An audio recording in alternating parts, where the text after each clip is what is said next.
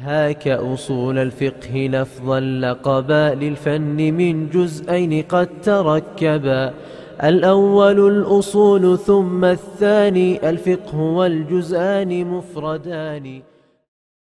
بسم الله الرحمن الرحيم. الحمد لله رب العالمين والصلاة والسلام على أشرف المرسلين سيدنا محمد وعلى آله وأصحابه ومن اهتدى بهديه إلى يوم الدين وسلم اللهم تسليما كثيرا. وبعد alloh subhanahu va taolodan madad so'rab usul fiq darsimizni davom ettiramiz muallif rahimaulloh aytadilarki val jahlu qul tasavvuru shay'i ala xilafi wasfihi alladhi bihi ala qila haddul jahli faqdul ilmi basitan aw murakkaban qad summi muallif rahimaulloh uni jahlga ta'rif berdilarki biannahu tasavvuru shay'i ala xilafi wasfihi alladhi bihi ala bir narsani u bilan ala degani ya'ni zohara bir narsani bir zohir ko'ringan vasfidan boshqacha holatida tasavvur qilish. Ko'ringan narsadan boshqacha. Masalan mana hozir mana bu nimada ko'rinib turibdi bizga? Oq rangda ko'rinib turibdimi? Shuni boshqacha tasavvur qilishlik nima bo'ladi? Jahl bo'ladi. Ya'ni teskarisini bilish degani. Ya'ni mislu an tatasavvara hada shaxsa rajulan. Masalan bir odamni erkak deb tasavvur qilasiz u ayol. Bu jahl bu. Chunki siz uni uni asli holatidan holatini xilofiga ko'ra tasavvur qildingiz mana bu ya'ni jahlni tarifida bir fikrlardan biri bu. Jahlni tarifida ko'p fikrlar aytilingan. Ya'ni hozirgi fikr bo'yicha jahl nima desa nima deyapti? Bir narsani asli haqiqatidan holatidan boshqacha bilib olishlik jahl deyiladi. Bu fikr bilan jahli basit deb ismlanmish narsa e, hada ro'yu yuhriju ma yusamma bil jahlil basit. Jahli basit deb atalgan narsani chiqarib yuboradi endi. Ya'ni jahli basit va laysa fihi idrokun itlaqan. Unda hozirgi aytish bo'yicha bir narsani teskari bilib olish degani. Hozir mana u nima edi desa men sariq desam mana shu hozirgi tarix bo'yicha. Bu jahl deyiladi. Endi bu nima desa bilmadim desam u nima bo'ladi. Bu ham jahl jahli basit lekin mana bu ta'rifga kirmay qoladi. Ya'ni bir bu ta'rif bo'yicha jahl nima degani bir narsani teskari bilib olish degani edi bu teskari bilib olish bo'lmasdan agar umuman bilmasachi bu nima edi desa bilmadim desa umuman jahl bu jahli basit kirmay qoladi bu yerga demoqchida. Umuman bilmaslik kimki agar bir narsani umuman e, bilmaydigan bo'lsa tasavvur qilolmasa bu ta'rifga ko'ra u johil bo'lmay qoladi. Vaholanki u nima? Johil u. Umuman bilmaydigan odam johil bo'ladi. Lekin e, mashhur taqsim mana bu so'z bilan aytgan narsaki vaqila haddul jahli faqdul ilmi. Yana aytilinganki jahlni haddi tarifi nima edi desa jahl degani u faqdul ilm bilmaslik. Keyin aytish mumkinki bilmaslik ikkiga bo'linadi. Umuman bilmaslik bor noto'g'ri bilib olishlik bor. Noto'g'ri bilishlik ham bilmaslikka kiradi. Mana bu tarif ichiga ya'ni ikkovsi ham kirib ketib qoladi o'shanda. Jahli basit ham jahli murakkab ham kirib ketadi. Hozir jaholat nima deganda tarifida nima deyapti? Bir narsani teskari bilib olishlik. Teskari bilib olishlik degandan nima kirmay qoladi buni ichiga ahmad? Kirmay qoladi. Chunki jahl bazid umuman bilmaslik degani. Bu ta'rifga kirmay qoladi. Ammo jahl nima deganda ikkinchi ta'rifda aytsakki haddul jahli faqdul ilmi. Ya'ni jahlni haddi jahl u nima desa bilmaslik desak uni ichiga ikkala bilmaslik ham kirib ketadimi? Keyin uni sharhlashligimiz kerak. Bilmaslik ikki xil bo'ladi. Jahli basit bor jahli murakkab bor unda ta'rifimiz umumiyroq bo'ladi birinchi ta'rifdan ko'ra ya'ni annal jahla adamul ilm jahl degani bu bilmaslik ya'ni adamu idroki shayi ala ma hu alayhi bir narsani asli haqiqatiga ko'ra bilmaslik demak mana shu fikrga ko'ra jahl ikkiga bo'linadi keyin adamul ilm dedikku bilmaslik ya'ni bilmaslik ikkiga bo'linadi basitga va murakkabga muallif rahimaulloh aytadilarki basituhu fi kulli ma tahta thara tarkibuhu fi kulli ma tusuvvira basituhu degani jahlni basiti jahli basit degani fi kulli ma tahtassara tuproq ostidagi har bir narsada bo'ladi. Ya'ni tuproq ostidagi narsani bilmaslik jahli basit bo'ladi. Ya'ni nima demoqchi? Tuproq ostidagi narsa degani hissiy narsani bilmaslik deganda. Hissiy narsa hissiy degani ko'z bilan ko'riladigan eshitiladigan narsalarni bilmaslik bu nima deyiladi? Jahli basit deyiladi. Bu o'zi aslida murakkablashtirishlik misoli bu. Jahli basit degani o'zi asli umuman bilmaslik degani jahli murakkab degani noto'g'ri bilib olish degani bo'ldi bizga shu yetadi o'zi. Tarkibuhu fi kulli ma tusavvira tarkibuhu degani uni murakkabi ya'ni jahli murakkab degani u nimada bo'ladi? Har bir tasavvur qilingan narsa. Tasavvur qilingan narsa degani bu yerda ma'naviy narsa demoqchi. Ya'ni muallifni e, fikriga ko'ra jahli basit hissiy narsalarni bilmaslik bo'ladi jahli murakkabchi ma'naviy narsalarni bilmaslik bo'ladi degani. Ya'ni muallif rahimaulloh bizalik bu bilan aytmoqchilarki basit ma bil umuril hissiya. Hissiy ishlarga taalluqli bo'lgan narsada bo'ladi murakkab bo'lsa fikriy ishlarga taalluqli bo'lgan narsada bo'ladi. Ya'ni tarkibuhu fi kulli ma tusuvviro murakkabi degani har bir tasavvur qilingan narsa tasavvur qilingan narsa degani hayol qilingan fikriy narsalarda agar fikriy narsalarni bilmasa bu jahli murakkab bo'ladi hissiy narsalarni bilmasachi jahli basit bo'ladi. Tarifun e, axir bu ham boshqacha ta'rif. Ya'ni biz bilgan ta'rifdan boshqacha. Biz bilgan ta'rifda jahli basit umuman bilmaslik jahli murakkab noto'g'ri bilib olish degandik bu yerda hozir jahli basit hissiy narsani bilmaslik jahli murakkabchi ma'naviy narsani hayoliy ma'naviy narsalarni fikriy narsalarni bilmaslik jahli murakkab bo'ladi. Bu ham bir ta'rif. Biz e, kechagi darsimizda ham aytgandikki la mushahata fil istilah. Ahmad nima degan ekan bu?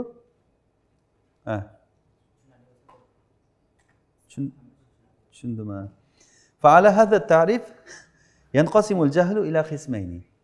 mana shu ta'rifga ko'ra jahl ikki qismga bo'linadi. Jahli basit va jahli murakkab. Agarda maxsus ishlarga taalluqli bo'lsa u basit bo'ladi. Agar fikriy aqliy ma'qul narsalarga taalluqli bo'lsa u nima? Fahuva murakkab murakkab bo'ladi. Fama tahta tharo endi tuproqni tagidagi narsalar idrokuhu hissiy uni bilishlik hissiy u. Tuproq tagidagi narsani yo eshitib bilamiz yo ko'rib bilamiz yo hidlab bilamiz. Masalan o'zi hissiy narsa degani havassul xomis beshta narsa bor. Ko'rib bilish eshitib bilish hidlab bilish ta'm bilish va ushlab bilish. Ushlab mana shu narsa beshta narsa nima deyiladi? Hissiy narsalar deyiladi. Tuproqni tagidagi narsani bilish deb misol qilyaptiki misol uchun tuproqni tagidagi narsani bilish deyaptida. U ham hissiy narsaga kiradi. Biz tuproq tagidagi narsani bilmasligimiz jahli basit deb ismlanadi. Masalan misli tuproq ostidagi o'liklarni bilmasligimiz yoki bo'lmasa tuproq ostida e, shamol uni uchirib kelgan donlarni bilmasligimiz yoki bo'lmasa tuproq ostidagi hasharotlarni bilmasligimiz bu jahli basit deb ismlanadi chunki u hissiy ishlarga taalluqli bo'ladi. Ammo biz bilmasligimiz masalan niyat tohratda vojibmi yoki vojib emasmi yoki fotihani o'qishlik ma'mumga vojibmi yo vojib emasmi ma'mumga muqtadiyga bu narsalar fikriymi yoki hissiymi? Albatta aqliy fikriy narsalar yoki zakot masalan e, huliyda vojibmi vojib emasmi huliy degani ayollarni taqinchog'i. Tushunarlimi? Ayollarni taqinchog'i huliy deyiladi. Yoki bo'lmasa kim ramazon kunduzida bilmasdan yeb qo'ysa uni ro'zasi buziladimi yo buzilmaydimi?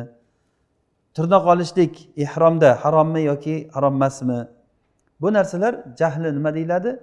Murakkab deyiladi deyapti. Bu ta'rifga ko'ra. Chunki bu ta'rifda jahli murakkab bo'lishi nima bo'lishi kerak? Fikriy aqliy narsa bo'lishi kerak. Bu aytilgan misollar hammasi fikriy narsalar. Jahli basitchi hissiy narsani bilmaslik bo'ladi. Inson bu narsani umuman bilmaydimi yoki buni noto'g'ri bilib oladimi? Farqi yo'q. Hissiy narsani bilmasa jahli basit ma'naviy narsani bilmasa jahli murakkab deyiladi. Bu ham bir so'z endi. Endi bizda hozir mashhur ma'ruf bo'lgan uchinchi so'z qoldi. Muallif rahimaulloh buni umuman aytmadi. Muallifni ta'rif bo'yicha jahlni ikki xil ta'rif berdida. Birinchisi nima dedi jahl ta'rifida? Bir narsani noto'g'ri bilib olishdi. Tasavvuru shay ala g'ayri mahu alayhi dedi. Ala xilafi mahu alayhi. Mana bu buni aytdi. Bunga nima kirmay qoldi? Jahli basit kirmay qoldi. Ikkinchi ta'rifda vaqila haddul ilmi haddul jahli faqdul ilmi dedi. Ikkinchi ta'rifda jahlni haddi tarifi nima desa bilmaslik dedi. Keyin bilmaslikni ikkiga bo'ldi. Ya'ni bilmaslik basit bo'ladi va murakkab bo'ladi. Basit dedi hissiy narsalarni bilmaslik murakkab ma'naviy fikriy narsalarni bilmaslik dedi. Demak shu ikkita ta'rif. Endi uchinchi ta'rif borki basit degani umuman bilmaslik murakkab degani bir narsani noto'g'ri bilib olishlik. Mana shu aytgan uchinchi ta'rifimiz yaxshiroq. Ya'ni ko'p ulamolar o'rtasida nima tolib ilmlar o'rtasida mashhur narsa shu. Jahli basit umuman bilmaslik jahl murakkab bo'lsa bir narsani xilofini bilib olishlik ya'ni alama ala xilafi huwa alayhi degani u undagi holatidan xilofiga ko'ra bilib olishlik noto'g'ri bilib olishlik degani bu mashhur bu basit u bir narsani umuman bilmaslik murakkab bo'lsa u bir narsani xilofiga ko'ra bilishlik bu narsa misol bilan zohir bo'ladi masalan bir kishidan so'rasak unga aytsakki badr g'azoti qachon bo'lgan desak u bilmayman desa bu qanaqa jahl bo'ldi? Jahli basit bo'ldi. Agar boshqa odamdan so'rasak u aytsaki uchinchi yilda bo'lgan uchinchi hijriy sanada bo'lgan desa bu jahl nima bo'ldi? Murakkab bo'ldi. Chunki u noto'g'ri bilib olgan. Aslida nechinchi yil bo'lgan ikkinchi yil bo'lgan ramazonda. Bir narsani noto'g'ri bilib oldi. Chunki badr g'azoti ikkinchi sanada ikkinchi yilda bo'lgan. Nima uchun birinchisi basit bo'ldi? Liannahu jahlun vahidun jahlu vahidin qilib qo'yibdi jahlun vahidun ya'ni u bitta bilmaslik la yalamu shayan ya'ni hech narsa bilmayapti nima uchun ikkinchisi murakkab bo'ldi chunki u ikkita bilmaslik deganida endi bu murakkab bilmaslik birinchisi bilmaydi ikkinchisi bilmasligini ham bilmaydi bilaman deb o'ylaydida jahlun bil voqea voqeni bilmaydi va jahlun bil hal va holatini ham bilmaydi ya'ni narsani o'zini bilmaydi voqeda asli nimaligini va o'zini holati noto'g'ri ekanligini ham bilmaydi bu odam. Mana bu mutakallim jahilim bihalihi. Bu gapirgan odam o'zini holatini bilmaydi. O'ylaydiki u bir ilmdaman deb o'ylaydi ya'ni bilaman deb o'ylaydi lekin ilm ustida emas bilmaydi. Shuning uchun ham bu ikki jihatdan ya'ni ikkita jahldan murakkab tashkil topgan bo'ldi. Ikkita jahldan birinchisi bilmasligi ikkinchisi bilmasligini bilmasligi. La yadri va la yadri annahu la yadri. Ya'ni bilmaydi va bilmasligini ham bilmaydi. Qaysi yomon? Albatta ikkinchisi jahli murakkab yomon. Yana boshqa bir misol bir odamdan so'rasak unga aytsakki foilni hukmi nima? Ayurfau yunsab marfu bo'ladimi yoki mansub bo'ladimi? Desak u aytsaki foil mansub bo'ladi. Chunki nasb istiqomat ya'ni nasb to'g'ri turishdan iborat bo'lgan narsa. Foil mustaqim. To'g'ri turuvchi narsa foil bo'ladi desa biz aytamizki bu jahli murakkab. Agar bilmayman deganda edi nima derdik? Jahli basit bo'lardi. Chunki u jahlun bil hukm va bi talil hukm. Hukmni bilmayapti va hukmni illatini ham bilmayapti. Nima uchunligini bilmaydi. Boshqa bir odamga aytsakki foilni hukmi nima desak marfu bo'ladimi mansub bo'ladimi u aytsa bilmadim desa nahu o'qimaganman desa. Ko'pchilik javobida bilmayman nahu o'qimaganman desa bilmaydi. Vala adri anhu. Naqulu hada jahlun basit. Biz unga jahli basit deymiz. Ammo uchinchisiga unga aytsakki foilni hukmi nima desak uni hukmi raf marfulik bo'ladi desak mana bu olim ekan. To'g'ri bildi bu odam. Endi qaysisi yomonroq jahli basitmi yoki jahli murakkabmi desa taban jahli murakkab yomonroq. Bunda shak shubha yo'qki bu yomon. Yuzkar ya'ni aytishlaricha bir odam tuma deb ismlanadigan bir odam o'zicha u hakimman deb davo qilar edi. Donishmandman deb hikma ya'ni hikmatni gapirib yurardi. Ya'ni unday qilsa unday bo'ladi bunday qilsa bunday bo'ladi deb gaplarida hikmat bilan shug'ullan gapirib yurardi lekin u ilmsiz fatvo berardi. Fatvo bergan narsalari jumlasidan shu bo'lgan ekanki aytardi qizlaringni uylanmagan odamlarga sadaqa qilinglar deb. Ya'ni ularni hojati chiqadi uylanmagan odamlarni ularga sadaqa qilinglar qizlaringni deb. O'ylardiki bu yaxshilik deb. mana shu haqda shoir aytadiki ومن نال العلوم بغير شيخ يضل عن الصراط المستقيم وتلتبس العلوم عليه حتى يكون أضل من طوم الحكيم تصدق بالبنات على رجال يريد بذاك جنات النعيم kim agar ilmga shayxsiz yetishadigan bo'lsa to'g'ri yo'ldan adashib ketadi ilmlar unga chigallashib ketadiki hatto u donishmand to'madan ham ko'ra adashganroq bo'lib qoladi Bu nima qilgan? Donishmand tuma qizlarni odamlarga sadaqa qilgan. Bu bilan jannatun naimda istagan holda. Ya'ni shu bilan savob umidida patvo berganki qizlarni erkaklarga sadaqa qilinglar deb odamlarga targ'ib qilgan.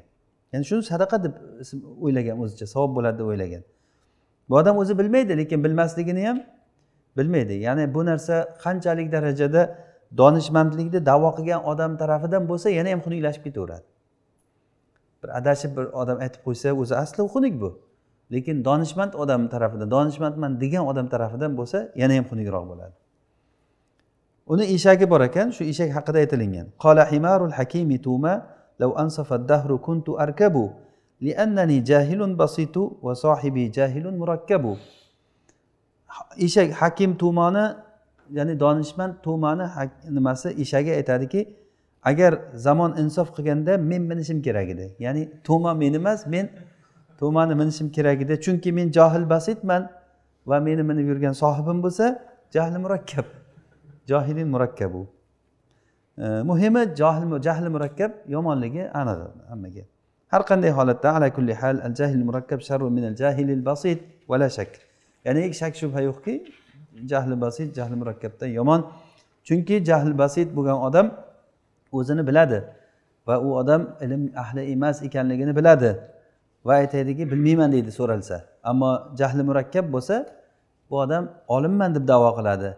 Vaholanki u olim emas o'zi aslida olim emasligini bilmaydi. O'zini olim deb o'ylaydi. Odamlar e tahsir tahsir deyaversa ya'ni aynni chiqarib ha deb gapirsa ilm bilib qolaveradi odam. Qovog'ini uyib fakana jahilan bi nafsihi va jahilan bil hukm. O'zini ham bilmaydi hukmni ham bilmaydi. Ibn qayim rahimaullohni gaplarini aytgandiku odamlarni eng yaxshisi kim? Ambiyolar eng yomoni nabiy bo'lmasdan turib nabiyman degan odam. Ambiyolardan keyin eng yaxshi odamlar ulamolar eng yomon odamlar olim bo'lmasdan turib olimlikni davo qilgan odam. Chunki bu odam butun yurtni adashtiradi xalqni adashtiradi. Odam o'zini holatini bilmasligi ba'zan odam o'zini johilligini biladi boshda. Keyin keyin odamlar uni uni e, hay haylayvergandan keyin u bilar ekanman deb o'ylab qoladi. Qarasa nima desa unga raddiya yo'q. Uni atrofida hamma johillar yig'ilib olgandan keyin nima deb gapirsa gapi maqbul bo'lavergandan keyin men bir narsam bor ekan ala shay. Bir narsadaman deb o'ylaydida bir qanaqadir bizni ham bir nimamiz bor deb o'ylaydi. Bu ham bir fitna. Yahudlar xuddi mana shunday bo'lgan. Hatto shu darajagacha borganki ollohni o'g'limiz biz ollohni suyukli bandalarimiz deb yuborgan vaholanki ular mag'zubun alayhim bo'lgan odamlar edi ya'ni ollohni g'azabiga uchragan la'natiga uchragan odamlar shunchalik teskari o'ylab biz nahnu abnaullohi va ahibbauhu deb yuborgan allohul mustaan. Keyin muallif rahimaulloh aytadilarki val ilmu imma bittirorin yahsulu aw iktisabin hasilun fal avvalu كالمستفاد بالحواس الخمس بالشم أو بالذوق أو باللمس والسمع والإبصار ثم التالي ما كان موقوفا على استدلالي خب ما تنوزن ترجمة خليلك؟ برنش شير ده والعلم إما باضطرار يحصل. علم يا اضطرار يولبلان يعني آه، اضطرار يولبلان ديگان شندغلقية بلنا ديگان حاصل بولاده يا كي بومسا باكتساب حاصلو. Kasb yo'li bilan hosil bo'ladi. Iztiror degani kasb yo'lisiz shundoq bilinadi. Masalan mana oqmi qorami desa hamma odam nima deydi? Oq deydi. Bu ana shu bilingan narsa nima deyiladi? Iztiror buni o'ylab turib fikrlab aytilinadigan narsa emas bu. O'ylab o'tiriladigan narsa emas o'ylab o'tiriladigan narsa emas bu. Birdan bilinadigan narsalar bo'lsa nima deyiladi bu? Istiror yo'li bilan bilingan bo'ladi yoki bo'lmasa ikkinchisi nima? Muktasab iktisob yo'li bilan uni istidlol yo'li bilan nazar va fikr bilan tajribalar bilan bilingan narsa bu e, muktasab deyiladi. Fal avvalu birinchisi ya'ni birinchisi nima degani? Iztiror yo'li bilan bilingani misoli kal mustafadi bil havasil havasil xomsi. Beshta sezgi organi bilan bilingan narsa. Beshta sezgi organ bu. Bishammi hidlash bilan avbi zavqi yoki ta'm bilish bilan yoki bo'lmasa lamsiy ushlash bilan yoki bis sam'i yoki eshitish bilan va bil ibsori va beshinchisi nima ko'rish bilan. Mana bu birinchi istiror yo'li bilan bilingan narsa. Bu nimalar deyapti bu kishini tarifi bo'yicha? Beshta havosil homis bilan ya'ni beshta sezgi organi bilan bilingan narsa ma'lumun fiddin bid darura degan narsa shu. Ya'ni ma'lumun bid darura degan narsa zarurat yo'li bilan bilingan narsa hozir bu kishini tarifi bo'yicha beshta o'sha sezgi organi bilan bilingan narsa. Ko'rgan narsangiz eshitgan narsangiz ushlab bilgan hidlab bilgan ta'm bilgan narsa. Masalan ta'mini yeb ko'rdingiz achchiq ekan masalan. Achchiq ekan desa bu qanaqa ilm bo'ldi bu? Ma ulima bil iztiror. Iztiror yo'li bilan bilingan narsa. Bu birinchisi. Summattali keyin ikkinchisi. Ya'ni ikkinchisi nima u? Iktisob yo'li bilan bilingan narsa makana mavqufan ala istidlali u istidlolga to'xtalgan narsa. Ya'ni uni yo'li makana tariquhu an nazar val istidlal deydida ulamolar. Buni yo'li bilish yo'li nazar fikr va dalil keltirish istidlol degani bir narsani dalilini topib nima uchun shunday ekan mana bu bunday ekan deb nazar istidlol bilan fikr yurg'izib bilingan narsa muktasab bilingan narsa deyiladi. Demak ilm ikki xil bo'ldi. Tushunarlimi ahmad? Birinchisi nima bo'ldi. Iztiroriy ikkinchisi muktasab. Birinchisi iztiroriy ikkinchisi muktasab bo'ldi. Al ilmu yanqasimu ila qismayn deyaptilar. Ilm ikki qismga bo'linadi. Ilmi iztiroriy va ilmi iktisabiy. Va yana ilm nazariy deb ham ismlanadi. O'sha ilmi nazariy degani o'sha iktisabiy degani. U ikki yana bir ismi buni. Ilmi nazariy yoki ilmu iktisabiy. Biz aytdikku la mushahhata fil istiloh istilohda tortishuv faqat nimaligini tushunsangiz bo'ldi. Nimaligini beshta sezgi organ bilan bilinayotgan narsa u zaruriy deyiladi. Xuddi shuningdek mutavotir naql bilan bilingan narsalar bular ham zaruriy. Va ammo va tafkirin va nazar iktisob yo'l bilan fikr bilan nazar bilan nazar degani bir narsaga qarash fikr yurg'izish bilan bilingan narsa bu iktisobiy deyiladi va yana u nazariy ham deyiladi. Bu to'g'ri bu. Bu to'g'ri. Demak zaruriy muallif rahimaullohni gapiga ko'ra bu beshta sezgi organ bilan bilingan narsa. Bu beshta sezgi organ eshitish va ko'rish hid bilish tan bilish va ushlash beshta. Muallif rahimaulloh bunga munoqasha qilinadi. Ya'ni bu gapiga ya'ni raddiya berilishligi mumkin u kishiga bu gapirgan gapiga. Masalan biz ko'ramizki ko'pincha ko'z xato qiladi. Masalan bir narsani bunday qarasangiz ikkita bo'lib ko'rinadi aslida bitta bo'ladi. Siz bir nuqtani ikkita nuqta deb o'ylaysiz. Ko'pincha o'ylaysiz ikkita nuqta deb o'ylaysiz o'zi aslida bitta bo'ladi. Ko'zga noto'g'ri ko'rinishi mumkin. Agarda nazar zaif bo'layotgan bo'lsa va xuddi shuningdek masalan uzoqdagi narsani sokin ya'ni qimirlamay turibdi deb o'ylaysiz. Vaholanki u qimirlab turgan bo'ladi. Yoki bo'lmasa sizga u qimirlab turgandek bo'ladi vaholanki u sokin bo'ladi ya'ni qimirlamay turgan bo'ladi. Ya'ni noto'g'ri ko'rinadi ko'zga. Bu bilan muallifga e'tiroz bildirilgan. Ya'ni odam ko'zi bilan ko'rgan narsalarni ham hammasini iztiroriy yo'l bilan bilavermaydi. Yoki e, yana bir masalan ko'z bilan ko'rib bilingan narsalardan bir jihoz masalan oldingizda ishlab turgan bo'ladi nimaligini bilmaysiz. Uni fikr yurg'izib istidlol qancha nimadan keyinki nimaligini bilib olasiz. Nimaligini bu ko'z bilan ko'rganda buni nima desa nima ko'rinib turibdiku bu shu deb bilinavermaydi. U rangi bo'lsa to'g'ri masalan. Masalan oq rang yoki qora rang deyishi mumkin odam. Lekin bu nima bu desa masalan bir jihoz turibdi. Chiqillab masalan ishlab turgan bo'lsa masalan nima edi bu desa nimaligi soat desangiz soatga o'xshamasa. Boshqa ana shu narsalarda masalan muallifga bu tarifiga munoqasha qilinadigan gap bu. Ya'ni bu kishini gapi bo'yicha istiroriy bilingan narsa nima dedi? Ko'z bilan e, ko'z bilan ko'rilgan hissiy narsalarni hammasini bilishlik e, iztiroriy dedi. Ya'ni munoqasha qilinishi mumkinki hissiy narsalar ham hammasi ham shundoq qaraganda bilinavermaydi. Mana bu narsa muallifga e'tiroz bildirilgan va muallif tomonidan o'tgan odamlarga e'tiroz bildirilganki ma'lum havos bilan ya'ni beshta sezgi organi bilan bilingan narsa u zaruriy bo'ladi degan gapiga teskari e'tiroz bildirilgan. E'tirozni tushundinglarmi e'tiroz nima uchunligini? Chunki u kishini tarifi bo'yicha zaruriy ilm degani nima degani edi? Ilmi zaruriy degani beshta sezgi organ bilan bilinsa bo'ldi nimaligi bo'ldi. Ilmi zaruriy bo'ldi deb. Unday emas beshta sezgi organ bilan bilingan narsa ba'zan u sezgi organi bilan bilib bo'lmasligi mumkin. Eshitiladi qulog'ingizga nimaligini bilmaysiz. Ko'z bilan ko'rasiz nimaligini bilmaysiz. Mana demak bu o'zi iztiror yo'li bilan bilingan narsa faqatgina mana shu beshta sezgi organ bilan bilingan deb ham bo'lmaydi. Va bundan tashqari yana hozir bu kishini gapi bo'yicha muktasab narsa degani e, odam istidlol yo'li bilan dalil keltirib bilgan narsa. Ya'ni bu bu degani sezgi organidan boshqa fikriy narsalar hammasi nima bo'ldi? E, muktasab bo'ldi. O'zi aslida fikriy narsalarni ba'zilari borki u ham zaruriy hech qanday fikr istidlolga muhtoj bo'lmayotgan narsalar bor. O'ylab o'tirishlikka muhtoj bo'lmayotgan narsalar bor. O'ylab o'tirishlikka nima masalan hukm qilish ba'zi bir narsalarga. Masalan ikkini ikkiga qo'shsak to'rt bo'ladi degan gap. Bu hissiy narsa emas bu aqliy narsa. Lekin shunga fikrni o'ylantirib o'tirish kerakmi unaqa bo'lmaydi. Hatto shunday qilinsa kulgili ham bo'ladi. Ba'zan bir e, magazinchilarni ko'rasiz do'konda sotuvchilarni. Ikkita narsa olasiz bittasi uch so'm bittasi ikki so'm. O'shani ham oldidagi haligi jihozda hisoblaydi. Ikki plyus uch teng besh ha besh ekan deydi. Albatta o'shanda bosib chiqaradida shunchalik darajada e, odam bir kallasini ishlatmaydigan bo'lib ketgan o'sha jihozga suyanib qolingan.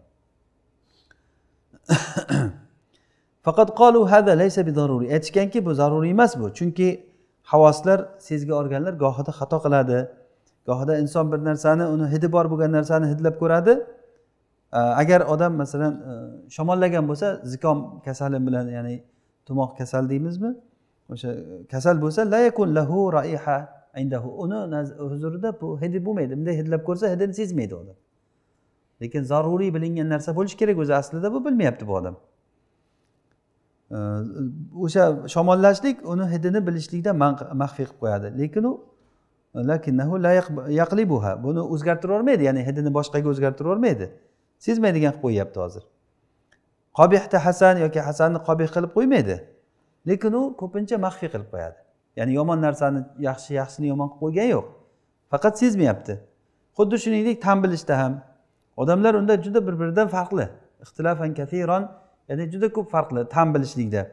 Shuning uchun ham ulamolar e, jinoyatlar bobida aytadiki agarda unga jinoyat qilsa bir odam e, faqat e, hatta hatto faqada zavqahu hatto tan bilishligini yo'qotib qo'ysa masalan bir odamni boshiga bir temir bilan urdi uni ta'siridan bu odam tan bilmayotgan bo'lib qoldi.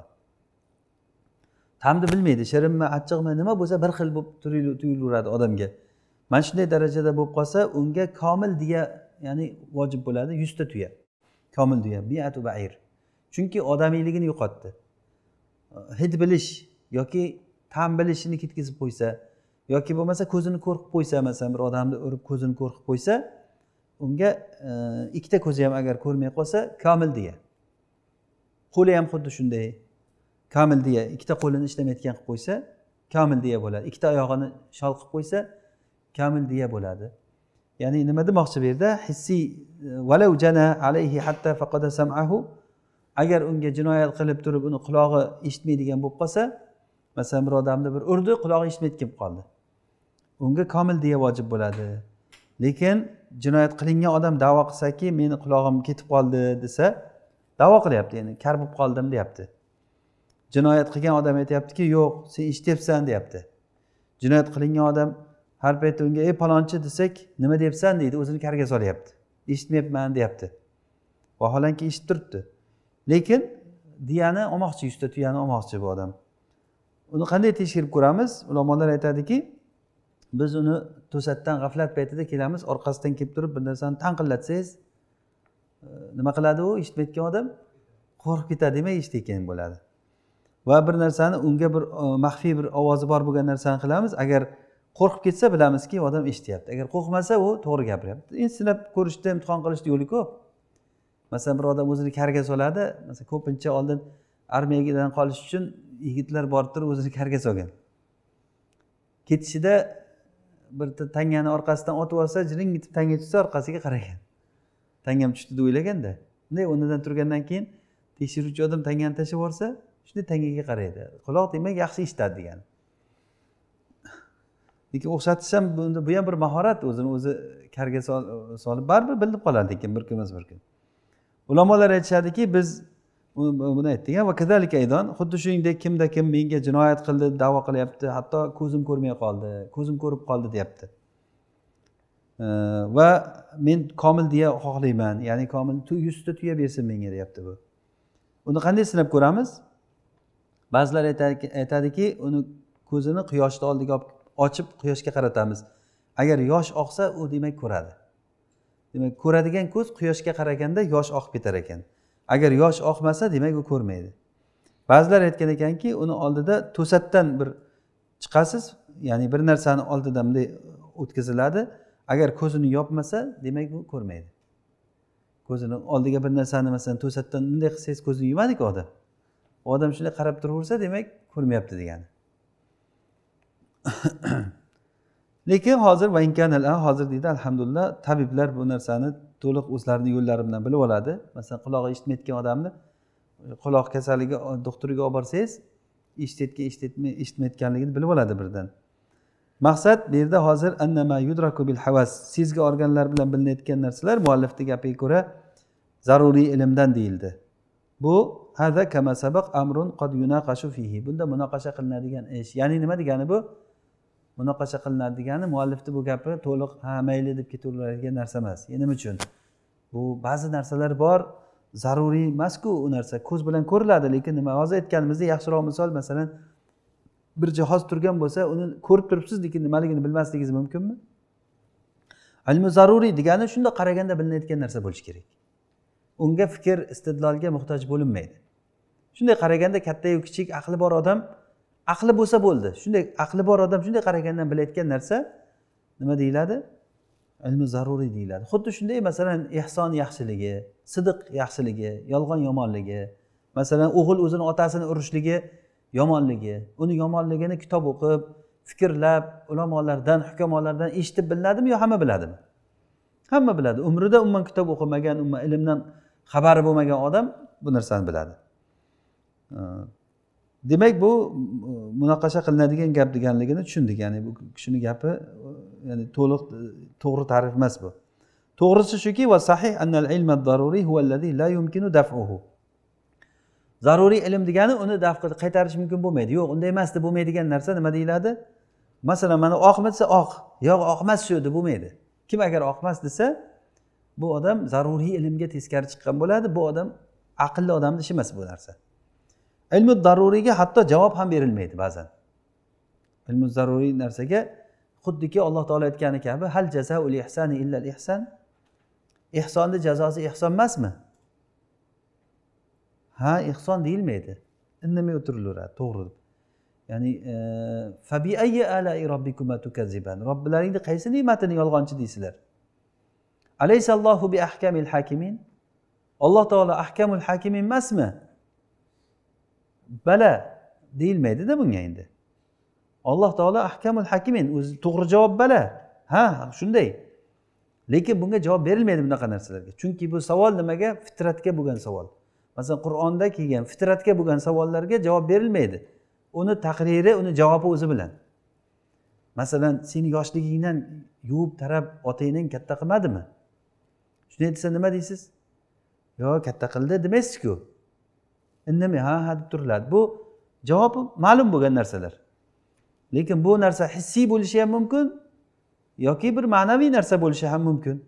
Masalan ota o'g'ilni oldida ulug'ligi hissiymi ma'naviymi? A? Hissiymi ma'naviymi shu? Ma'naviy narsa.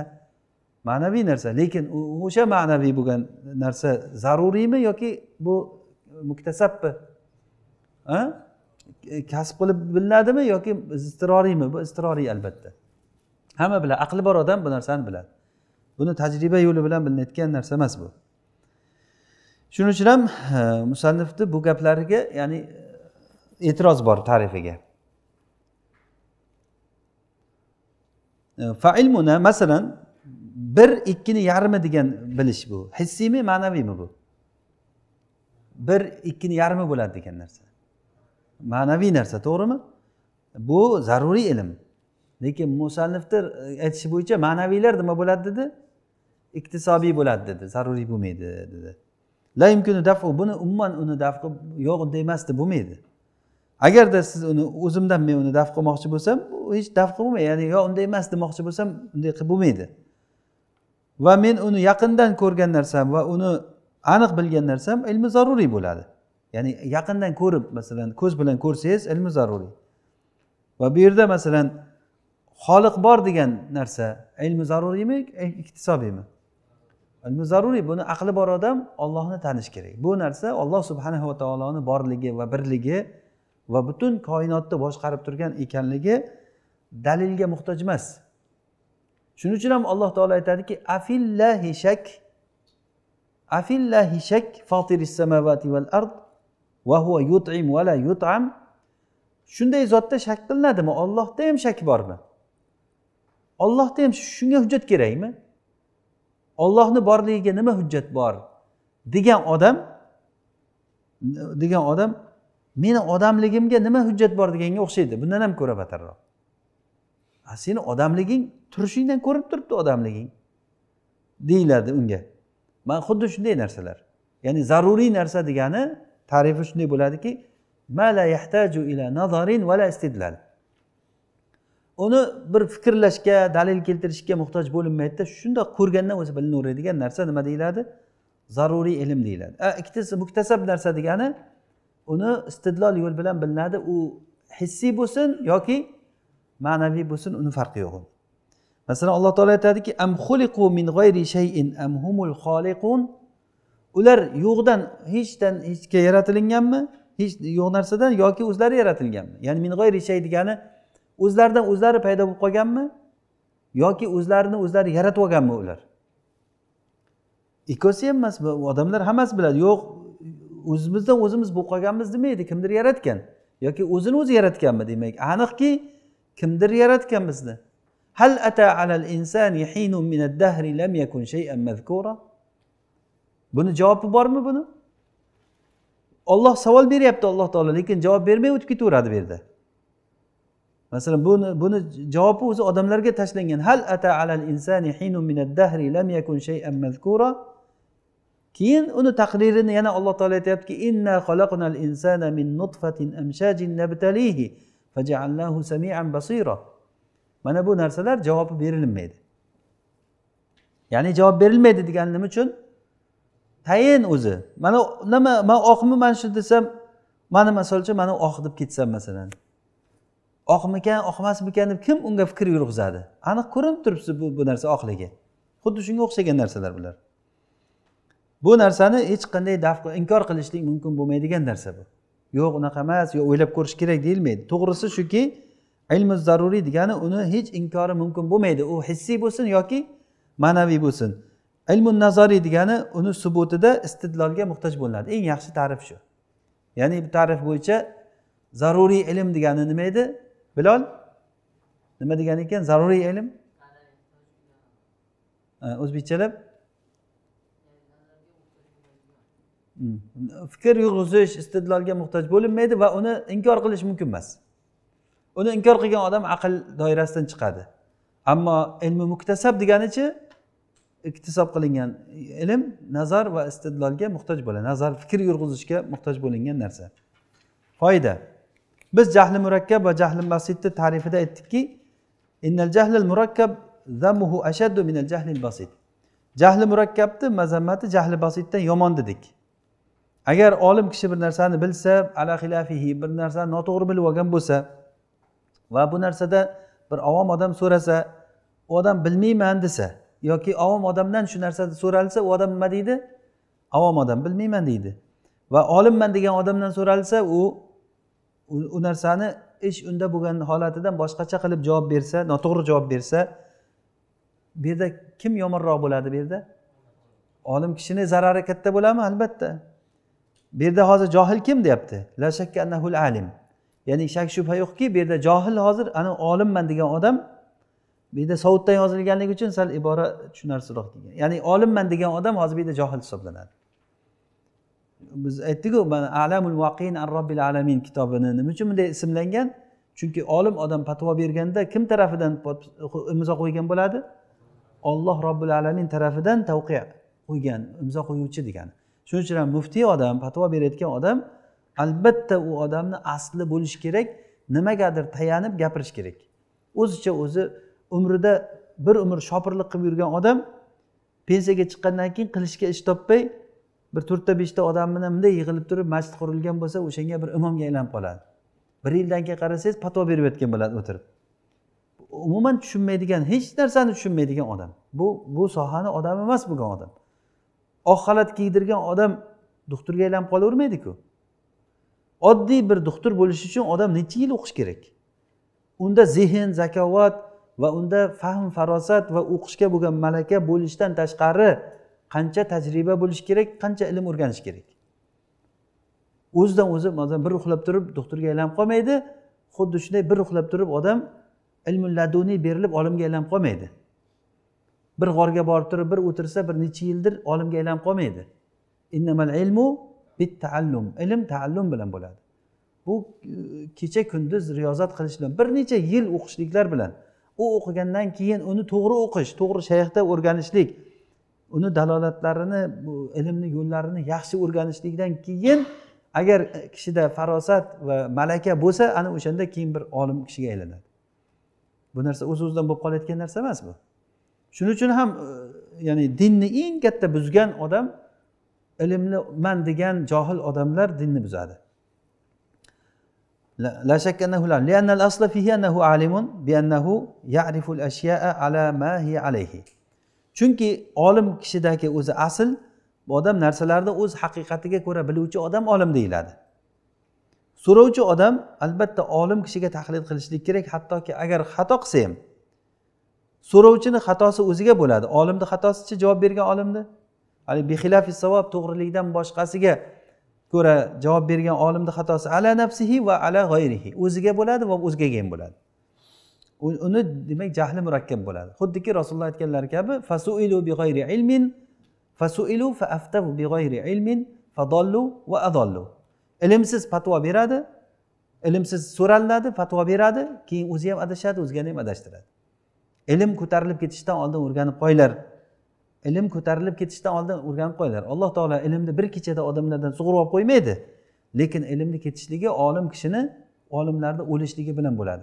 Agar olimlar o'lib ketsa nasu ruusan juhala johil kishilarni o'zlariga bosh qilib oladi. Fasuilu big'ayri ilmin faaftau big'ayri ilmin fadollu va adollu sallallohu alayhi vasallam foyda uxro demak hozir bu foydada nimani bildik? Jahli basit yomonmikan jahli murakkab yomonmikan? Albatta jahli murakkab yomon ekan. Ikkinchi foyda shuki hissiy zarurat degani mayudraku bil havasil hams beshta sezgi organ bilan bilinadigan narsa va aqliy zarurat degani aql bilan bilinadigan narsa.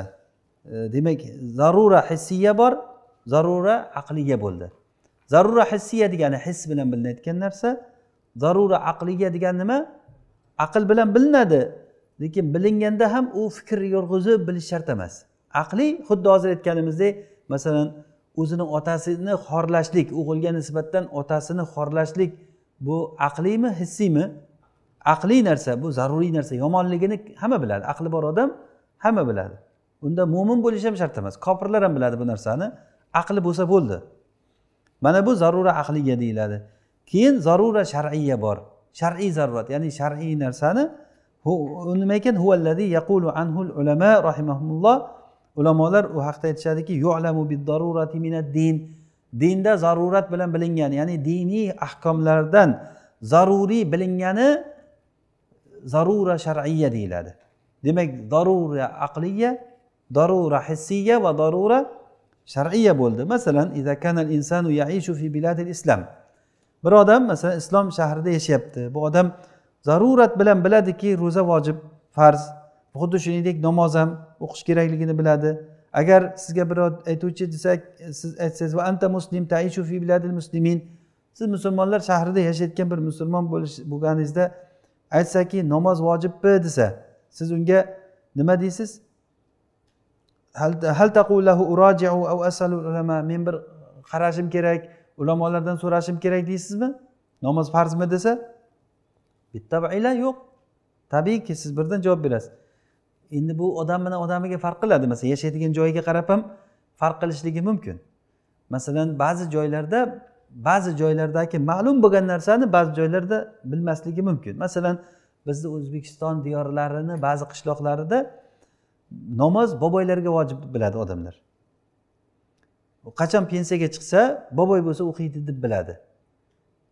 Masalan yoki islom diyorida masalan ba'zi masalan misr diyorlarida yashagan odamlar yoshligidan o'sha ulamolar ichida musulmonlar ichida o'sgan odam bilan e, kommunistlarni ichida katta bo'lgan bitta musulmonman degan johil odam ikkovsini o'rtasida shar'iy ahkomlarni bilishlikda juda katta farq qiladi.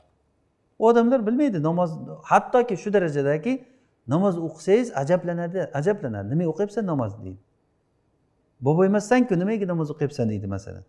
Keyin unga tushuntirish kerak. Demak u odam uchun namozni farzligi zaruriy bilingan narsa emas u. Keyin uni bildirganingizdan keyin u biladi u. Mana u odam uchun mana ulamolar ichida katta bo'lgan odam namoz vojibmi desa yoki masalan misrdan yoki saudiyadan bir odam kelsa manada azon ovozi eshitilsa nima qilyapti bu? Nima edi desa qayerdan kelding? Siz saudiyadan ellik yildan beri saudiyada yashayman desa. Bu nima deysiz bu odamga? Yo u odam majnun bo'lishi kerak o'zini jinniga solayotgan bo'lishi kerak. Bu boshqa narsa yo'q bu yerda. Chunki u bilmay iloji yo'q uni. Mana mana bunday narsalar zaruriy bilish deyiladi. Chunki namozni vojibligi dinda zarurat bilan bilingan narsa. Bitta narsaki dinda zaruriy bilingan narsa nisbiy. Tushunarlimi? Nima degani bu? Dinda zaruriy bilingan narsa nisbiy degani kimga nisbatan zaruriy bo'lgan narsa kimga nisbatan zaruriy emas bo'lishligi mumkin. Masalan qaysi bir o'lkada yashab turganda ye shuni ham bilmaysanmi? deyiladigan bo'lsa bu zaruriy narsa bo'ladi. E shuni ham bilmaydi yosh bola ham biladiku buni. Yosh bola ham biladiku buni. Shuni ham bilmaysanmi? degan narsa o'zi zarurat bilan bilingan narsalar bor. Ammo ba'zi joylarda zarurat bilan bilingan narsa ba'zi joylarda nazar va istidlolga va tushuntirishga muhtoj bo'lib qoladi. Hozir aytganimizdek masalan namoz hamma odamlarga vojib ekanligini namoz hamma odam vojib deganimiz farz ma'nosida. Ya'ni namoz farz hamma odam o'qishi kerak namozni degan narsani yo'q endi boboylar o'qishi kerak namozni ba'zi odamlar gunohi borlar o'qiydi bizni gunohimiz yo'q deydi masalan. Johil odamlar. Islom diyoridan musulmonlardan ulamolardan uzoqda o'sgan ta'lim tarbiya ko'rmagan odamlar mana bularga nisbatan shar'iy ahkomlar ba'zan ya'ni ko'p ko'p nima maxfiy bo'ladi. Ularga yo'q bu bilgan hujjat qoyim bo'lgan bunga deyish qiyin narsa. Lekin mana bu yoqda o'sgan odamlarga bo'lsachi bu narsa ma'lum. Shuning uchun ham bu narsani nima deymiz? Shar'iy zaruriy narsalar ham nisbiy bo'ladi. Kimgadir nisbatan zaruriy bo'lgan narsa kimgadir nisbatan zaruriy emas bo'lishligi mumkin. ho'p يقول المؤلف رحمه الله تعالى والسمع والإبصار ثم التالي ما كان موقوفا على استدلاله va eshitish bilan ko'rish bilan bilingan narsa bular biz yuqorida aytdikki musannif rahimaullohni muallif rahimaullohni tarifiga ko'ra e, zaruriy ilm bu beshta sezgi organi bilan bilingan narsalar nima dedi zarurat bilan bilingan narsalar o'shalardan biri eshitish va ko'rish keyin summattali degani keyin ikkinchisi u nima bo'ldi ikkinchisi? Makana mavqufan ala istidlali. Dalil keltirishlikka to'xtalingan narsa. Ya'ni uni bilish uchun nima qilish kerak? Dalil keltirish kerak izlanish kerak. Qavluhu tali degani ya'ni ilmun nazariyni yoki ilmul muktasabni aytyapti. Ilmul muktasab ilmun nazariy ikkovsi bitta narsa. Ilmun nazariy degan bilan ilmul muktasab ikkovi bitta narsa. Va huwa ma yahtaju ila istidlalin va nazar. U istidlolga va nazarga fikr yurg'izishlikka muhtoj bo'layotgan narsa. Bu shar'iy ma'lumotlarni aksari shunday. Tahtaju ila istidlal ya'ni istidlolga muhtoj bo'ladi. Ya'ni shar'iy ma'lumotni hammasini odam zaruratan bilib ketaveradimi yoki dalili orqali biladimi? Man misol uchun namozda ikki rakat e, to'rt rakatlik namozda ikki rakatida o'tirmay attahiyotni o'qimay turib ketib qoldim. Namoz tugatdim. Namoz sahiymi sahiy emasmi? Buni birdan aytadimi yo odam dalilini bilishi kerakmi? Albatta dalilini bilish kerak. Ya'ni shar'iy ilmlarni aksari nima edi? Nazar va istidlolga muhtoj dalilga to'xtalinadi uni bilib keyin gapirish kerak. Va illala asbaha dinul islomiy kulluhu daruriyan. O'zi unday demaydigan bo'lsak islom dini hammasi zaruriy bo'lib qolaverishi kerak. Ko'p ilm ibodatlardagi ilm masalalarni ko'pi muomalatlarda axloqlarda nazar va istidlolga muhtoj bo'ladi. istidlolga muhtoj bo'lgan har qanday narsa u ilmi nazariy deyiladi yoki ilmi muktasab deyiladi ya'ni har qanday ilm agar nazar va istidlolga muhtoj bo'lsa nima deyiladi ilmu nazariy yoki ilm muktasab deyiladi فالعلم المكتسب هو الذي يحتاج إلى الاستدلال ونظر ilmi muktasab degani u istidlol va nazarga muhtoj bo'ladi lekin odamlardan alloh taolo shunday bir quvvatli bir malaka bergan kishilar bo'ladi Agar ilmda mustahkam puxta egallagan bo'lsa hattoki unga mana shu narsa harom yoki vojib degan narsa hech qanday bir e, qaramasdan dalillarga qaramasdan ham o'zi ayon bo'ladi. Bu odam ishi shu bo'lgandan keyin. Ya'ni bu narsani shuni harom deb o'ylaydi keyin dalilini ko'rsa o'sha harom bo'lib chiqadi. Mana shu narsani yo'q bu narsa mumkin deb o'ylaydi dalilni qarasa mumkin bo'lib chiqadi mumkin emas deb o'ylaydi mumkin emas bo'lib chiqadi. Bu albatta bu har kim emas bu narsani. Ishi shu bo'lgan qur'oni sunna ko'zoynagi bilan qaraydigan odam shariatni tabiat nimasini maqosidlarini yaxshi bilgan odam albatta bu odamni fahm farosatida ko'p narsalar ya'ni ochiq bo'ladi. Hattoki dalilini bilmasa ham lekin hukmini mana shunday deb o'ylaydi o'sha odam. O'sha uchun ham bir olim kishi men buni yoqtirmayman degan gapi bilan bir avom odam men buni yoqtirmayman degan gapini o'rtasida juda katta farq bor. Olim kishi bu narsani yoqtirmayman degani masalan karihahu malik deb aytiladi. Imom molik shuni karih ko'rgan ekan. Bu degani bozordagi bitta baqqol uni karih ko'rgan ekan degan gap bilan imom molik karih ko'rgan ekan degan gapni farqi bor. Chunki imom molik uni karih ko'rdi degani bu deganiki butun dinni maqosidlarini hamma tomondan solishtirib ko'rgan odam shuni yomon ko'ryaptimi? Demak shariatni tabiatiga bu to'g'ri kelmaydi degani. Shuning uchun bu oddiy gap emas bu. Oddiy odamlar emas bu mushtahidlar imomlar masalan abu hanifa deng shofiy deng molik deng imom ahmad imom buxoriylar oddiy odamlardek emas ularniki masalan buni yaxshi sanagan ekan. Istahabbahul ulama. Ulamolar mana shuni yaxshi sanagan ekan. Dalili nima desangiz dalili aytilmasa ham lekin ulamolar yaxshi sanagan ekan degan gap bilan buni baqqollar yaxshi sanagan ekan degan gapni o'rtasida juda katta farqi bor. Agar dalillarga qarasa u xuddiki unga xayol qilinganday deb to'g'ri deb chiqadi. Lekin bu narsa ilmda mustahkam bo'lgandan keyin bo'ladi. Alloh taolo insonga bir qobiliyat beradiki bu bilan to'g'rilikka yo'l topadi. Bu narsa bir qobiliyat. Qobiliyat. Lekin buni ma'nosi emaski har bir u bilan aqlingiz hukm qilgan yo xayol qilgan fikringizga kelgan narsa xuddiki siz hukm chiqarganday yo xayol qilganingizdek bo'laveradi degani emas bu. La budda fil umur shar'iyya minal marja ila shar'iy shar'iy ishlarda albatta shariatga qaytishlik zarur. E, ya'ni buni demoqchiki e, bu kishi ya'ni shar'iy ahkomlar bilan shug'ullanavergan odamga shar'iy hukmlar oson bo'lib qoladida hattoki uni dalilini bilmasa ham o'shanday deb o'ylaydi. Masalan yahya ibn mainni oldiga bittasi kelib turib mana bu narsalar e, mana hadis sahiymi zaifmi? deganda bunday qarab turib hadisga qarab turib yo bu hadis emas bu yoki mana bu zaif mana bu sahiy deb hukm chiqargan bir qancha hadisga shuning uchun so'rovchi aytganki qayerdan bilasiz buni qanday bilasiz desa bilamanda degan sen bir sayrofiyni oldiga borsang sayrofiy degani sarrofachi pul almashtirayotgan e, valyutachi deydimi hozirgi kunda o'shanaqangi sarrofachini oldiga borsang u odam bunday sarrof tilloni qo'liga oladida dirhamni yo bu sof dirham emas ekan deb sizga qaytarib bersa qanday bilyapsan desa nima deydi sizga? Bilamanda bu meni ishim shu deydi. Material sotayotgan odam bozorda bunday materialni ushlab ko'rib yo bu yaxshi ekan yo yomon ekan deysiz to'g'rimi? Qanday bilding desa nima deydi sizga? Bu nima deb javob berasiz? Bilamanda deydi. Bu meni ishim deydi. Qandayligini aytib berolmasa ham lekin bilaman deydi. Bunday qaragandan o'zi inson uni shug'ullanayotgan odam bu narsani biladi. Hadis ulamolari ham e, eng chuqur ilm bu hadis ilmi. Fuqarolar boshqa odamlar u darajagacha yetib borolmagan holat bu. Hadis ilmi judayam chuqur ilm bu. Ya'ni hadisni sahih zaifligini bilishlik ilmi. Buning uchun juda katta chuqur ilm egasi bo'lish kerak. Hatto ali ibn madiniy buxoriy haqida aytganki buxoriy bilmagan hadis hadis emas degan. Masalan buxoriy bitta hadis ko'rib buni bilmadim men desa demak bilingki bu hadis emas bu degani. Bu juda katta bir martaba bu. Buxorodami yoki basrada kufada misrda makka madinada shomda biror joyda birorta katta bir olim qolmaganki illo o'shani ichidagi ilmni sug'urib olgan bu odamlar. Shunday borib bir olimni oldida o'tirsa unda nima bo'lsa shuni sug'urib olgan o'shani. Nechta hadis bilsa kimdan biladi? Falonchi falonchimi? U muncha hadis biladi u. Bu hadisni falonchidan eshitgan bu hadisni falonchidan eshitgan. Bo'ldi. Mana shu narsa uni ma'lumoti bor. Shaharlarda yurib birorta olim qolmaydi illo o'sha olimni tanib u olim qaysi hadisni kimdan eshitganligini biladi. Mana shu odamni hofiz deyiladi. U odamlarni taniydi. Nechta odam bo'lsa qancha hadis bilsa biladi. U hadisni palonchi palonchidan eshitgan. Shuning uchun hadis to'quvchilar bitta hadis kirgizsa birdan bilinib qolgan avrati ochilib qolgan.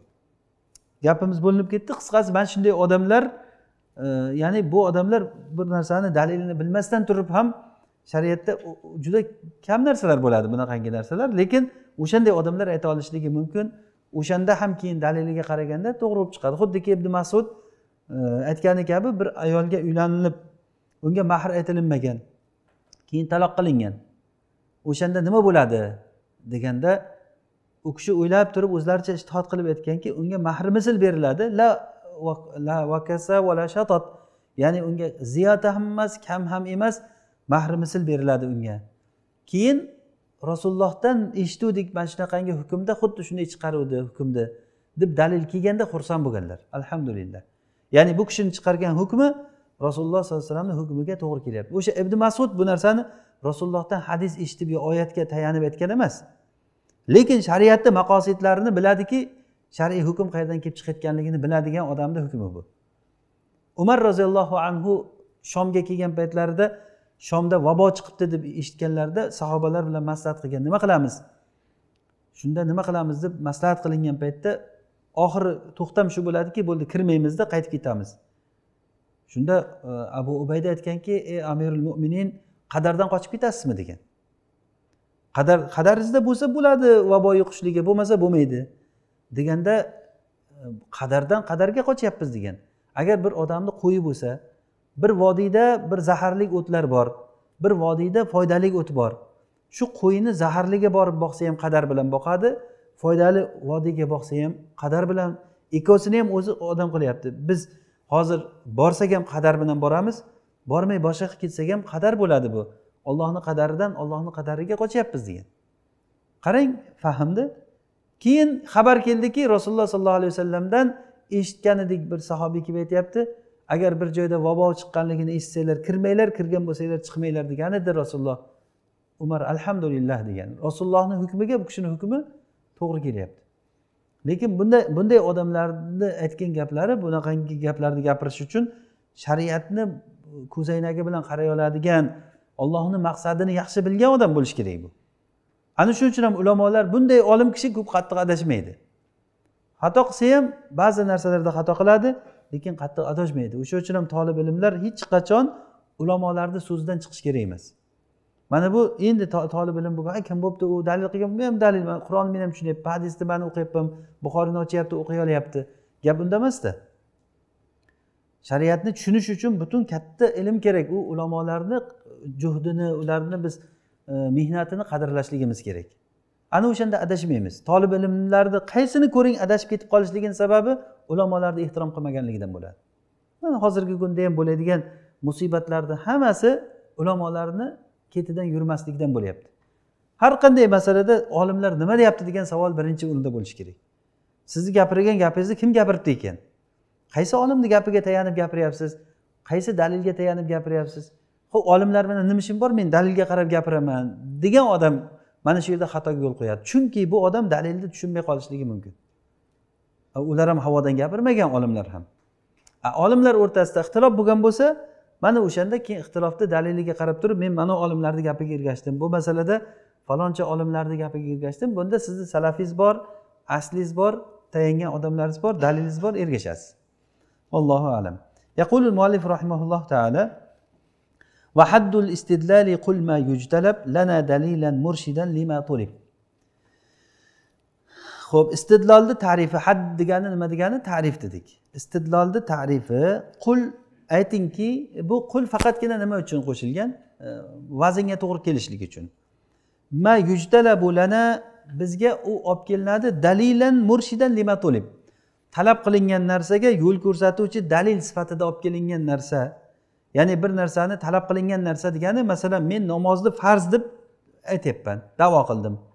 Shu davomga endi dalil olib kelsam yo'l ko'rsatgan shunga haqiqatdan shu namozni farz ekanligini ko'rsatgan dalil aqimus sola degan dalilni olib kelaman mana bu ishim nima deyiladi?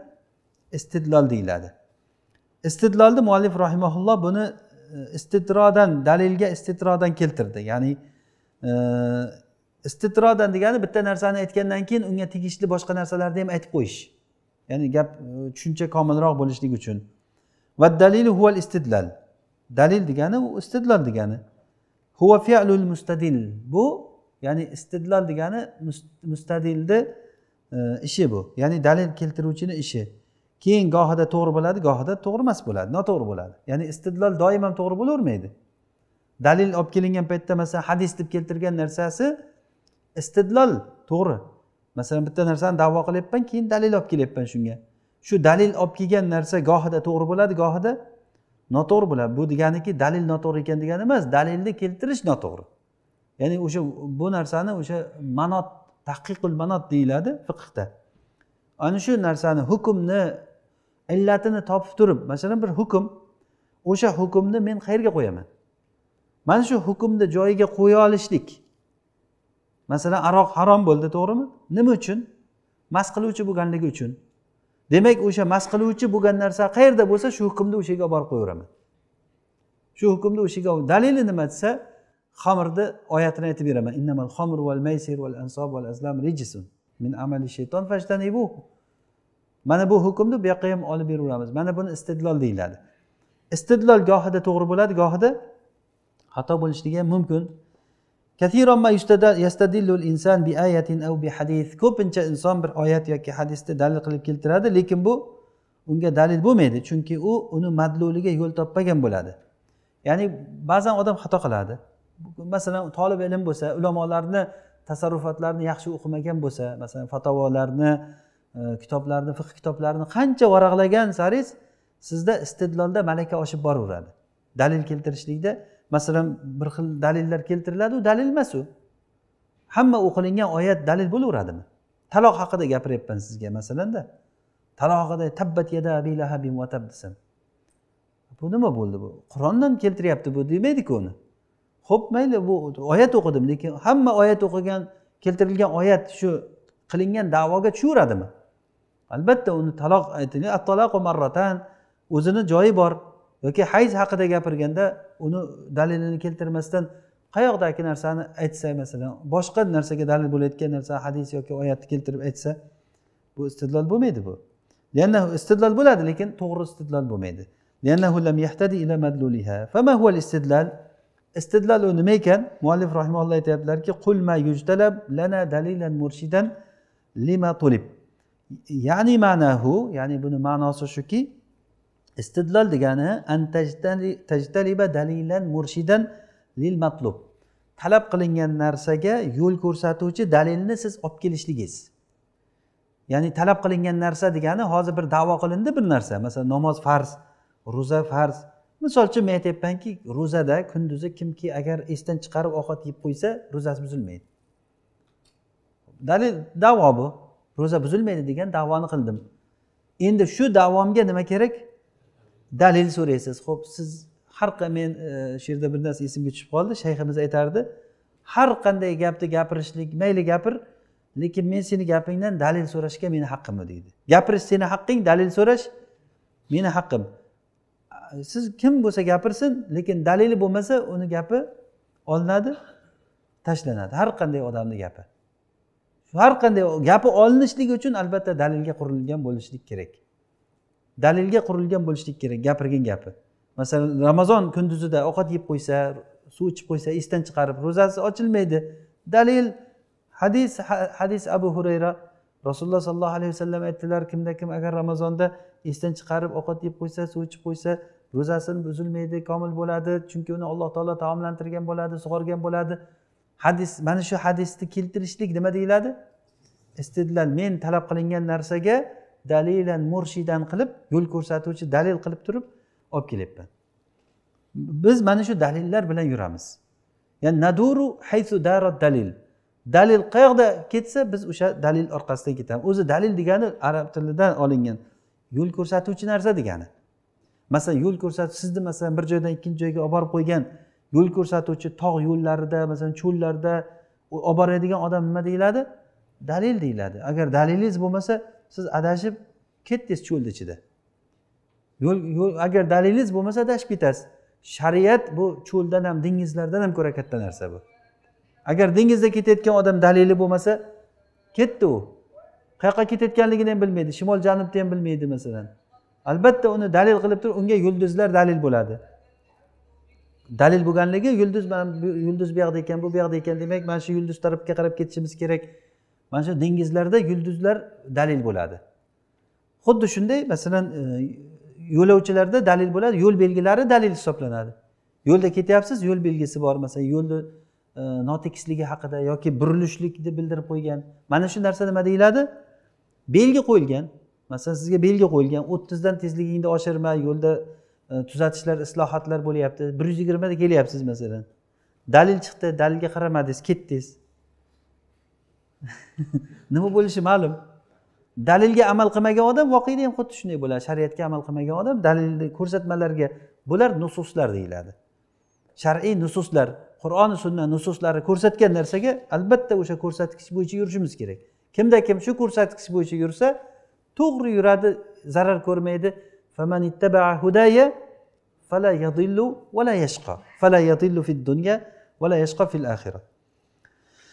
Misalu zalik buni misoli e, yasaluka sayil bir odam sizdan so'raydi. Sizga aytadiki agarda namozda bir rakat ziyoda qilib yuborsam masalan to'rt rakat namoz besh rakat qilib yuborsam salomdan keyin sajda esa o'qilamanmi salomdan oldin sajda esa o'qilamanmi? Siz bu narsaga dalil olib kelishingiz kerakmi? Yo o'ylab turib aytib yuborasizmi? Albatta dalil kerak bunga. O'sha murshid bo'lgan yo'l ko'rsatuvchi bitta dalilga qurishingiz kerak gapingizni. Siz o'shanda dalillarda bahs qilasiz hattoki matlubga yetib borguncha matlub degani o'sha talab qilingan narsa sizdan talab qilingan narsa uni hukmi nima? O'sha matlub. Uni hukmiga yetib borgunizcha dalil izlaysiz. Mana bu izlashlik nima deyiladi? Bahs deyiladi. Siz dalil izlaysiz bahs deyiladi. Keyin bir masalaga hukm chiqarishlik uni dalili bilan hukm chiqarishlik u istidlol deyiladi. Istadalla bihi fulan deyiladi. Masalan falonchi dalil qilib keltirdi deganida o'sha dalil qilib keltirib mana shu hukmni aytdi. Demak istidlol haqiqatda u ixtisor um, qisqa qilib aytilingan narsa huva talabu dalil degani. Istidlol degani nima degani? Talabu dalil degani ixtisor qilib aytsangiz. Fakavnika tatlubu dalil. Siz dalilni talab qiladigan bo'lishligingiz bu istidlol deyiladi. Keyin voqeaga uni tadbiq qilasiz yoki bir hodisaga yoki masalaga mana bu dalil deyiladi. Mana bu narsa o'sha tahqiqul manot deyiladi. O'sha ko'pincha masalan bir xil holatlarda rasululloh sollallohu alayhi vasallamni holatini misol qilib keltiriladi dalil qilib keltiriladi lekin o'sha joyiga tushmaydi o'sha narsa. Rasululloh sollallohu alayhi vasallam bunday qilganku mana biz nima bu ishni qilmaymiz? Xuddiki e, nimada? Hajjojga aytilinganda rasululloh sollallohu alayhi vasallam o'roniylarni ko'zlarini o'yib olgan. O'roniylar bilasiz rasululloh sallallohu alayhi vasallam oldiga kelganda qornlari ishib ketgan sarg'ayib ketgan kasal odamlar iymonni davo qilgan. Rasululloh sallallohu alayhi vasallam ularni bir joyda bir sadaqa tuyalari bo'lgan o'sha tuyalarga borib tuyani siydigi bilan sutini qo'shib ichinglar siydigi bilan sutini ichinglar degan bir qancha vaqtdan keyin ichib ular tuzalgandan keyin o'ziga kelgandan keyin cho'ponlarni o'ldirib tuyalarni olib ketib qolgan shukronasiga rasulullohga xabar yetib kelgan keyin orqasidan odam yuborganlar ularni ushlab olib kelingan olib kelinganda ularni jazosi ularni ko'zlariga temir qizdirib bosilgan qo'l oyoqlari kesilingan o'sha issiqqa toshloq joyga issiqqa tashlab qo'ygan turpoqlarni yalab yalab o'ldi ular. Suv so'rardilar suv berilinmasdi ularga degan. Shu hadisni hajjojga aytib berilganda ya rasululloh qilgan bo'lsa biz nega qilmaymiz bu ishni. Mana rasululloh qilganmi? Ha bo'ldi biz qilishimiz kerak buni deb turib ana shu ishni qilishni boshlagan. Shunda e, ulamolar aytishganki bu fosiq zolimga bu hadis aytilinmasligi kerak edi. Bu xabar aytilinmasligi mana abu hurayradan keladi. Menda shunday ilmlar borki men agar u ilmni sizlarga ochsam mana u bulum uzilib ketadi meni bo'ynim degan. Ya'ni ilmni e, aytilinadigan joyi bor uni. Hammaga ham ilmni ochib tashlaversa man hajjojga o'xshagan odamga mana bunday dalilni keltirib bersangiz rostdan rasululloh qilganmi? Bo'ldi tushunarli bo'ldi. Bo'ldi rasululloh qilgan bo'lsa biz qilmaymizmi? Mana shu ishni qilaveradi keyin. Qancha qancha odamlarni ko'zini o'yib masalan mana shu qo'llarini qo'l oyog'ini kesib lekin u dalilni ishlatish bor uni kimga ishlatgan rasul? Murtad bo'lib ketgan odamlarga odam o'ldirib qochgan odamlar ular. Undan keyin musla mansux bo'lgan muslani hukmi bu narsalar mansux bo'lgan narsaga amal qilinmaydi. Shuning uchun ham bu narsani o'sha istidlolni noto'g'ri qilishlikdan o'sha dalil olib kelingan narsa joyiga tushmaydi ko'pincha. Mana bu uchun o'sha ulamolarni tasarrufi deymizku ulamolarni yo'liga biz ergashishligimiz kerak. Buxoriyni shunday ochib shu bitta hadisni o'qigandan keyin mana rasulullohni hadisi bor ekan deb ergashib ketilavermaydi. Mana sahnundan aytilinadi men imom molik bo'lmaganda halok bo'lar ekanman degan. Sahnun men ashabi malik deyiladi. Ya'ni imom molikni shogirdlaridan. Uch yuzdan ziyod shayxdan dars olganman degan. Uch yuzdan ziyod shayxdan dars oldim. Agar imom molik bo'lmaganda halok bo'lar ekanman. Imom molikdan dars olganimdan keyin bildimki hadisni nosihi bor mansuhi bor umumi bor xosi bor. Hozir biz usul fiqda o'qiyotgan narsalar. Mana bu narsani bilsa keyin odam u amal qilishlikda hadisga amal qilishlikda nechta vajhi bor uni? Hadislar bir biriga taarruz kelganda qanday qilib turib uni tarjih qilamiz? Albatta bu ulamolar biz qilmaymiz buni ulamolar qiladi. Qilgan ana shuning uchun ulamolarni yo'lini biz tushunishligimiz uchun ham kerak bu narsalar. O'zidan o'zi bo'lavermagan shuning uchun bitta kitobni bunday ochib qarab turib hukm shu ekan deyish noto'g'ri bo'ladi.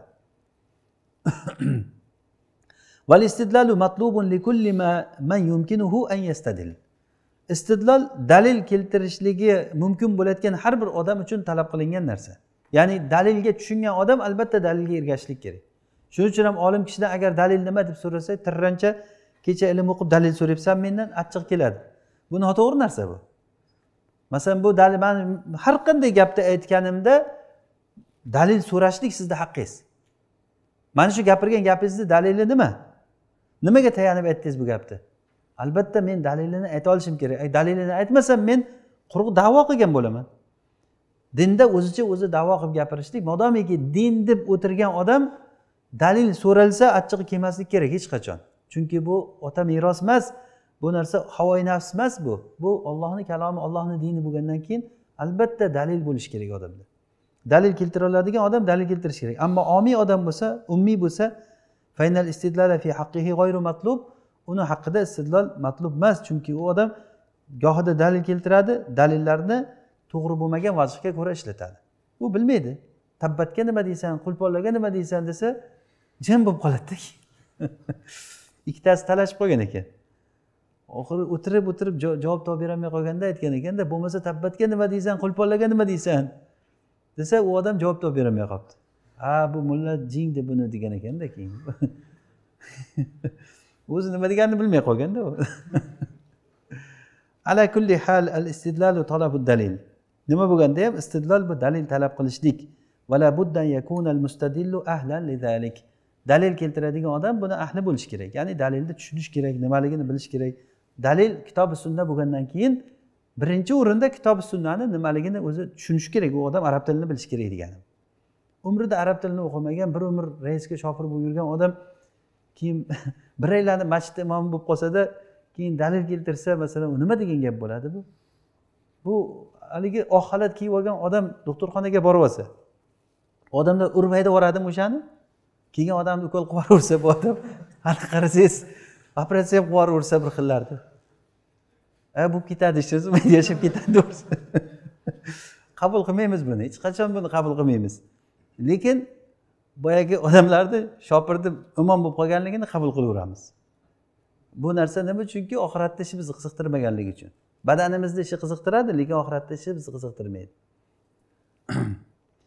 ثم قال المؤلف رحمه الله تعالى والظن تجويز امرئ أمرين مرجحا لأحد الأمرين فالراجح المذكور ظنا يسمى والطرف المرجوح يسمى وهما والشك تحرير بلا رجحان لواحد حيث استوى الأمران zon degani tajvizu mriin amroyni bir kishi ikkita ishni ham joiz desa masalan ikkita narsa turibdi ikkita u ham joiz bu ham joiz lekin murojjihan li ahadil amroyni ikkita ishni bittasini rojih desa ikkita ishni bittasini rojih desa bir tarafi rojih bir tarafi marjuh bo'lsa o'sha rojih tarafi nima deyiladi zon deyiladi bu o'sha istilohdagi narsa. Istilohdagi narsa. Masalan qur'on tili bilan aytganda zon ikki xil ma'noda ishlatiladi. Yazunnuna billahi g'ayral haqqi zonnal jahiliya. Yoki bo'lmasa e, yattabiuna illa zonna va ma tahval anfus. Bundagi zon ilmsiz narsani gapirishlikni zon degan. Ya'ni qur'onda zon yaqin ma'nosida ham keladi.